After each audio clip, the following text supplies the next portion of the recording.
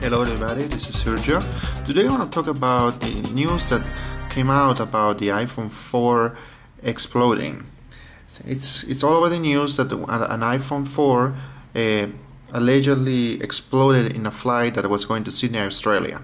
Now I want to point out that if you see the pictures online of the phone, you will see that in the back where the battery is, Eh, it got exposed. So and the cover broke and you can see actually parts of the battery. So it must have been pretty bad. Now there are many people and there's some controversy because if you read the the entire cable or the entire news from the news agency that reported it it doesn't say that it exploded it only said and i quote um, the phone was caught emitting a significant amount of dense smoke accompanied by a red glow. So that sounds pretty bad to me. And uh, but I just hope it was not really an explosion, and it just you know the phone fused itself, I don't know what it was.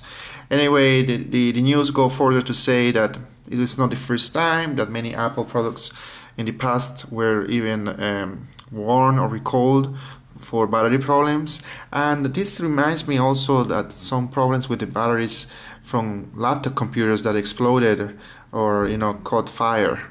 I remember some cases with the dell batteries that was very significant and they were recalled. So i think this is more um, a matter of, of the batteries manufacturers and uh, well it's because it's, it's caused some concern so i hope apple investigate this and uh, you know releases some kind of statement on that.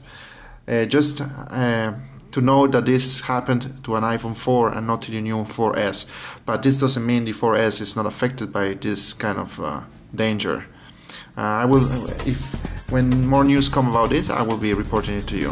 Thank you.